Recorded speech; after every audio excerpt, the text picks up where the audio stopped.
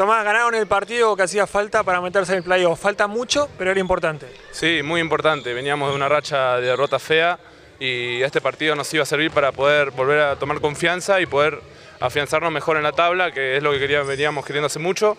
Perdieron eh, Germinal y Huracán, así que esta victoria nos viene de 10 puntos para poder seguir. Se hizo difícil tener el plantel reducido.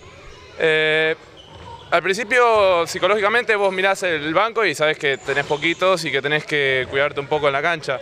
Pero no, cada uno, por suerte, cuando pudimos mantener la intensidad, pudimos correr, pudimos pasar bien la bola y metimos muy, hicimos un muy lindo partido, así que creo que no se notó tanto como nosotros esperábamos que se iba a notar.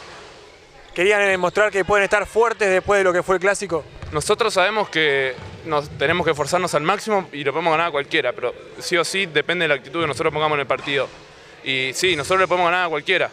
Solamente lo único que hay que poner es, es mucha intensidad defensiva, correr la cancha y poder tomar las vías de gol que nosotros tenemos que, que sabemos que tenemos fuertes para tomar.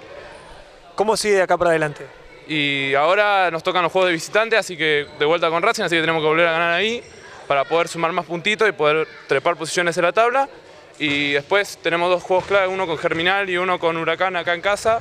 Entonces tenemos que tratar de robar uno de esos dos para poder quedar en una posición buena. Ganó Brown, ha ganado muy bien, ha sacado una, buena diferencia frente a Racing, fue contundente desde el primer cuarto hasta el final y lo hizo con un plantel bastante reducido. Tiene que superar las lesiones, pero va por buen camino si es que quiere llegar a los playoffs. Informaron desde el Benito García, el Pollo Zudinski, Elen Barrios.